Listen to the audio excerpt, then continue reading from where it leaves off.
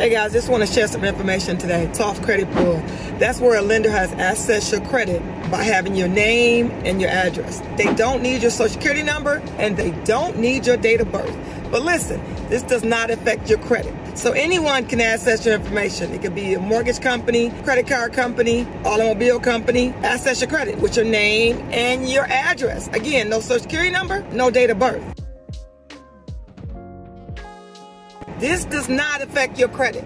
Now, if you do a hard pull, that's going to affect your credit. So when you get those pre-approvals through the mail saying you up, oh, you approved for $20,000 for a MasterCard through Capital One, or you get a pre-approval for Capital One on an automobile loan, or you get a pre-approval from Flagstar Bank. You're pre-approved for 50000 So it says pre-approved. So they have access your credit report, but it does not affect your credit. So if you're watching this video and you have questions about credit and you want to get your credit repaired, or you have questions about getting into automobile, go to my website, Regina, the Queen of Carloans with S.com. That's Regina, the Queen of Carloans com and book that consultation. Or if you're just sliding by my social media page, go subscribe to my YouTube channel, Regina, the Queen of Car Loans and Credit. Go to my YouTube page where I go into depth, a little bit more in my video than I do on my social media video right now. All right, I'll see you on next video.